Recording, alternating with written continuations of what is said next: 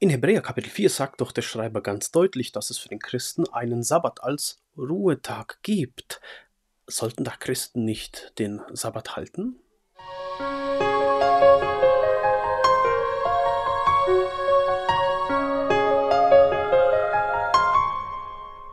Herzlich willkommen bei Christologisch. Mein Name ist Josef Dragil. Wir sind mittlerweile im sechsten Teil unserer Sabbatserie angelangt und wir wollen uns das vierte Argument vornehmen und es geht auch um Hebräer 4.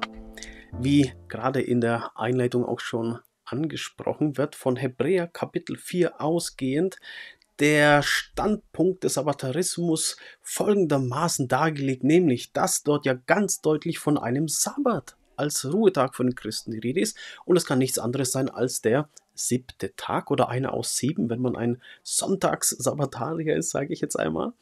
Ähm, aber wir wollen uns das direkt einmal vom Kontext anschauen und dieses Argument auf exegetische Belastbarkeit prüfen, ob das vom Text her selbst tatsächlich so gesehen werden kann oder sogar muss. Und hier haben wir unser Bibelprogramm. Hier ist Kapitel 4. Und wir wollen uns das jetzt einmal direkt anschauen, was dort steht und eben auch was nicht. Und dazu sehen wir uns erst einmal den Kontext an, ein Stück vom Kontext, nämlich um Kapitel 4 geht es. Und wir sehen hier dann auch schon Vers 18, ähm, der vorletzte Vers von Kapitel 3, da steht etwas tatsächlich von einer Ruhe. Welchen schwor er aber, dass sie nicht in seine Ruhe eingehen sollten, wenn nicht denen, die sich weigerten zu glauben. Also, was wir hier lesen, hoffentlich stört euch nicht, wir haben Besuch bekommen, ich nehme trotzdem etwas auf, das ist für meine Frau, nicht für mich. so ist das, ein Mann, ein Wort, eine Frau, ein Wörterbuch.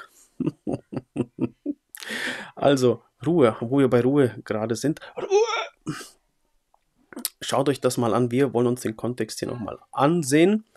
Die Ruhe Gottes, von der hier in Hebräer Kapitel 3, Vers 18 geredet wird, ähm, die steht symbolisch für das verheißene Land. Das wird aus dem Kontext ganz, ganz deutlich. Und wegen ihres Unglaubens starben die meisten der Generation, dieser israelitischen Generation, die die Befreiung aus Ägypten erlebt hat durch Mose, die starben in der Wüste, anstatt in seine Ruhe einzugehen. Lasst uns das ab Vers 16 mal lesen bis 19. Denn einige lehnten sich auf, als sie es hörten, aber nicht alle, die durch Mose aus Ägypten herausgezogen waren. Über wen war er aber 40 Jahre lang zornig? Waren es nicht die, welche gesündigt hatten, deren Leiber in der Wüste fielen? Welchen schwor er aber, dass sie nicht in seine Ruhe eingehen sollten, wenn nicht denen, die sich weigerten zu glauben oder zu gehorchen. Und wir sehen, dass sie nicht eingehen konnten wegen ihres Unglaubens. Von diesem alttestamentlichen Beispiel ausgehend informiert der Autor nun seine Zuhörer, dass die Verheißung in eine größere Ruhe vor ihnen steht. Also er beruft sich auf das Alte Testament, auf die Generation, die Wüstengeneration, wie man sie nennt, und sagt dann hier in Kapitel 4, Vers 1, so lasst uns nun mit Furcht darauf bedacht sein, dass sich nicht etwa bei jemand von euch herausstellt, dass er zurückgeblieben ist, während doch die Verheißung zum Eingang in seine Ruhe noch besteht. Also wir haben eine größere Ruhe vor uns, sagt er, und das wollen wir darauf bedacht sein, dass wir nicht gleich wie diese Israeliten in der Wüste durch den Ungehorsam eben nicht dort eingehen. Und diese Ruhe ist von einer anderen Art. Nämlich, lasst uns das mal anschauen, was diese Ruhe jetzt hier vom Kontext, vom Bibeltext selbst her auszeichnet. Und da lesen wir einmal oder haben gerade gelesen, man kann zurückbleiben, man kann diese Ruhe verfehlen. In Vers 2 lesen wir, ähm, lesen wir, dass wir zurückbleiben, wenn wir nicht an das Evangelium glauben. Das könnt ihr hier dann auch schön sehen. Hier Heilsbotschaft, das ist nichts anderes als Evangelium. Hier könnt ihr das sehen. Evangelizo, hier ein GG, Gamma Gamma. Wenn ein Doppelgamma dasteht, dann wird das erste Gamma als N gelesen, Euangelizzo.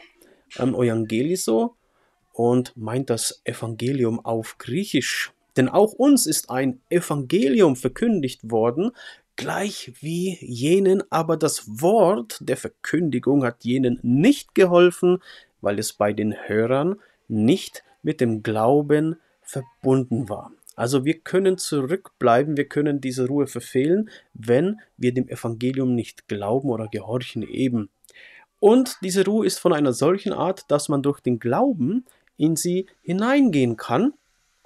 Das lesen wir in Vers 3, denn wir, die wir gläubig geworden sind, gehen in diese Ruhe ein, wie er gesagt hat, dass ich schwor in meinem Zorn, sie sollen nicht in meine Ruhe eingehen, und doch waren die Werke seit Grundlegung der Welt beendet.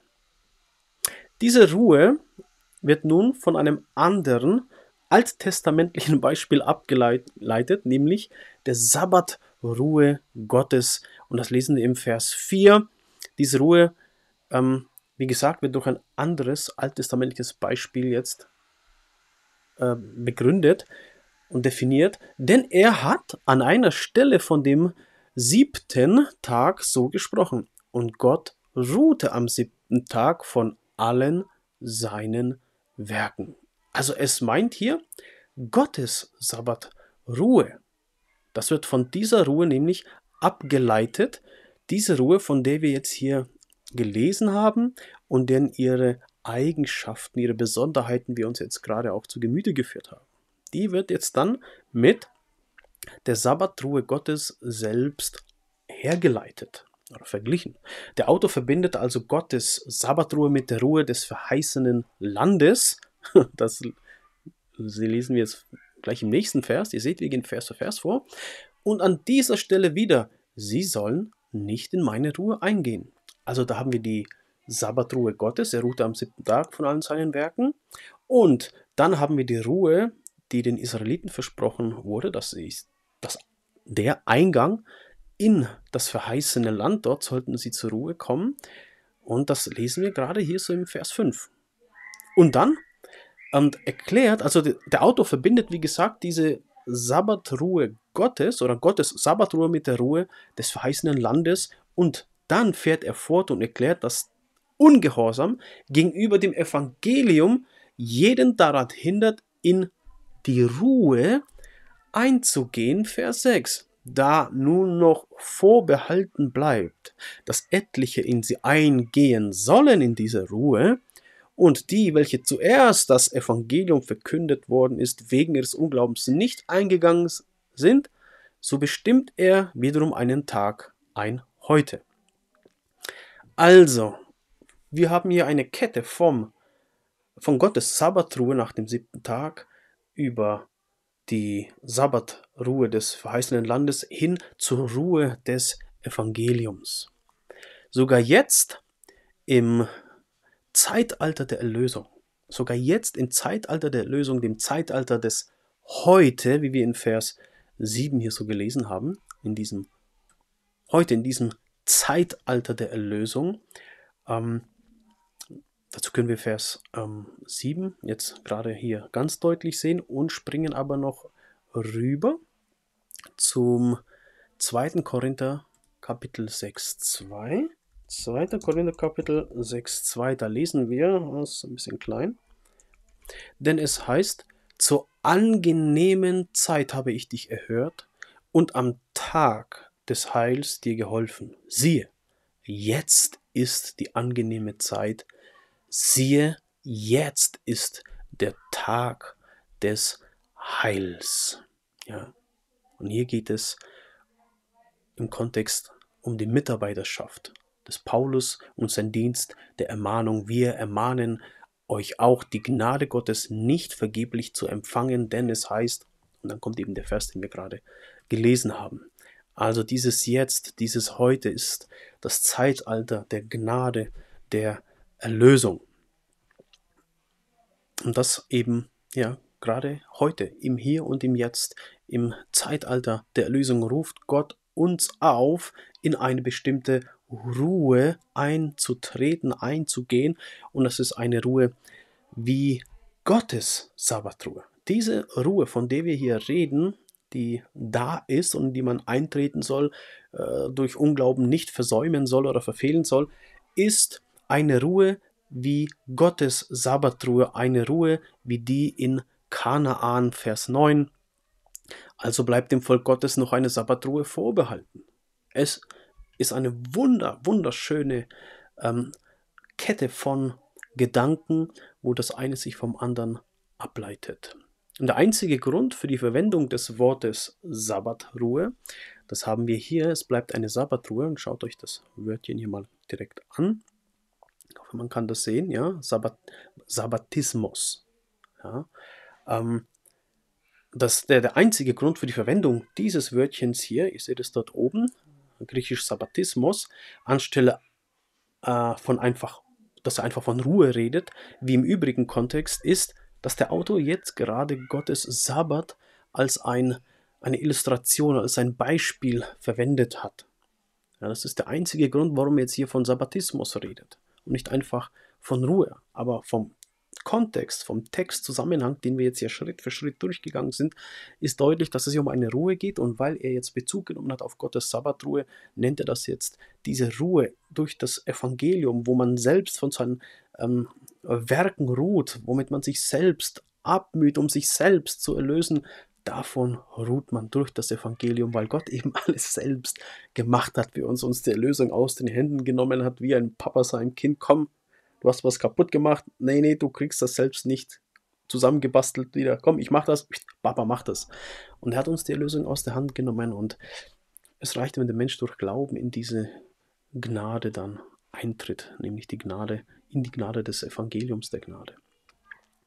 Also dieses, diese Natur, diese Beschaffenheit der Ruhe oder eben der Sabbatruhe von Vers 9, wie wir hier sie sehen, wird in den Versen 10 bis 11 jetzt dann auch erklärt. So wie Gott für immer, nämlich mit seinen Werken aufhörte, so sollen auch wir aufhören, uns auf Werke zu verlassen oder zu versuchen, Werke hervorzubringen, um die Erlösung, um uns unsere Erlösung zu verdienen. Die Werke, die wir produzieren, werden an anderer Stelle nämlich tote Werke genannt. Das ist hier ein Hebräerbrief, ups, Kapitel 6. Bin ich zu weit? Äh, hier die toten Werke. Darum wollen wir die Anfangsgründe des Wortes von Christus lassen und zur vollen Mann, zur vollen Reife übergehen, wobei wir nicht nochmals den Grund legen mit der Buße von toten Werken. So, ich scroll gerade einmal zurück. Wie gesagt, wird in Versen 10 und 11 diese Sabbattruhe, äh, von der gesprochen wird, dort wird sie näher erklärt. Und es wird eben hier dann auch gesagt, denn wer in seine Ruhe, das heißt in diese Ruhe Gottes eingegangen ist, der ruht auch selbst von seinen Werken, gleich wie Gott von den Seinen. So wollen wir denn eifrig bestrebt sein, in jene Ruhe einzugehen, damit nicht jemand als ein gleiches Beispiel des Unglaubens zu Fall kommt. Also lasst uns in die Ruhe des Glaubens im Evangelium eintreten und bis zum Ende ausharren. Das ist, was er sagt. Wir dürfen nicht in tote Werke abfallen oder uns tatsächlich auch auf ihnen ausruhen. Die Gefahr, ähm, an die sich der Autor, an die sich der Autor wandte, war der Abfall, äh, nicht die Frage, welcher Tag von Christen jetzt als Sabbat der Ruhe eingehalten werden soll. Warum ignorieren die Sabbatarier diesen breiteren und unmittelbaren Kontext? Die Betonung in Hebräer 4 liegt auf einer zukünftigen Ruhe, die noch auf alle wartet, die im Glauben bis zum Ende ausharren. Da können wir noch Kapitel Hebräerbrief, Kapitel 10, Verse 38 bis 39 lesen. Der Gerechte aber wird aus Glauben leben. Doch, wenn er feige zurückweicht, so wird meine Seele kein Wohlgefallen an ihm haben. Wir aber gehören nicht zu denen, die feige zurückweichen zum Verderben, sondern zu denen, die glauben zur Errettung. Also, es geht darum, im Glauben bis zum Ende auszuharren. Und auf der Befürchtung des Autors, dass sie durch einen Rückzug unter den alten Bund diesen Sabbatismus, diese Sabbatruhe, von der hier geredet wird, von der Ruhe des Evangeliums, ähm, die letztendlich natürlich auch verbunden ist mit der Ewigkeit, weil jeder, der im Evangelium ruht, der wird auch auf ewig selig werden. Und der Autor hat eben die Befürchtung, dass sie diesen Sabbatismus, diese Sabbatruhe, das Ruhen von den eigenen Werken versäumen würden. Die Schlussfolgerung der Argumentation des Autors findet sich dann in Vers 14 bis 16. Da wir nun einen großen Hohepriester haben, der die Himmel durchschritten hat, Jesus, den Sohn Gottes, so lasst uns festhalten an dem Bekenntnis. Denn wir haben nicht einen Hohepriester, der kein Mitleid haben könnte mit unseren Schwachheiten, sondern einen, der in allen oder in allem versucht worden ist, in ähnlicher Weise wie wir, Halleluja, doch ohne Sünde. So lasst uns nun mit Freimütigkeit hinzutreten zum Thron der Gnade, damit wir Barmherzigkeit erlangen und Gnade finden zur rechtzeitigen Hilfe. Also um in Gottes Ruhe einzutreten, eintreten zu können, müssen wir fest am Glauben an Christus, ja, so lasst uns festhalten, ja, um eben ähm, in diese Ruhe Gottes eintreten zu können, müssen wir fest am Glauben an Christus und an, an Christi verdienstvollem priesterlichem Sühneopfer festhalten. Es geht darum, das ist das Kreuz Jesu Christi, das ist sein Sühneopfer, das er gebracht hat und daran müssen wir festhalten. Denn er ist unser Hohepriester, der uns vertritt. Und das war das Problem, sie wollten zum alttestamentlichen Gottesdienst zurückkehren. Also, als Schlussfolgerung, Hebräer 4 ist ein Abschnitt, der zeigt, dass Gottes Sabbat und das verheißene Land eine endzeitliche, eine eschatologische Vorschattierung oder Vorschattung der Ruhe des Gläubigen im Glauben an das Evangelium der Erlösung waren, die durch die Versiegelung des neuen Bundes, durch das Blut Christi vollendet wurde. In Hebräer 4, 9 heißt es nicht Sabbat, sondern Sabbatähnliche Ruhe, Sabbatismus. Der Kontext schließt die sabbatarische äh, Auslegung aus, denn die Betonung liegt nicht auf einem Tag in diesem Zeitalter, der eingehalten werden müsste, sondern auf einer ewigen Ruhe, die alle wartet, die bis zum Ende im Glauben leben. Und damit ähm, haben wir dann den Kontext uns näher angesehen, Vers für Vers eigentlich durchgegangen. Und wir haben gesehen, es ist keine bestimmte ähm, Ruhe, die einen Tag betrifft, wie etwa den Sabbat, wie es behauptet wird, sondern es ist abgeleitet von der Sabbatruhe Gottes selbst, als Gott von seinen Werken ruhte. Und dann wird, Bezug genommen auf die Ruhe Gottes, die er den Kindern Israel versprochen hat, nämlich durch den Einzug in das Land und das wiederum ein Schatten auf das Evangelium, in das wir Christen hineinkommen und manches versäumen können, dort hineinzukommen. Und dann gibt es diese ewige Ruhe, entweder das tausendjährige Reich und die Ewigkeit sowieso, wo wir endgültig von unseren Werken ruhen, wo alle Tränen abgewischt werden und darauf können wir uns freuen. Und ihr könnt euch freuen auf weitere Teile und um sie nicht zu verpassen. Abonniert diesen Kanal, schreibt gerne in den Kommentar eure Gedanken zu der Behandlung dieses Arguments und dann sehen wir uns auch schon das nächste Mal, so Gott will. Und ihr leben, der Herr mit euch. Shalom und bis bald.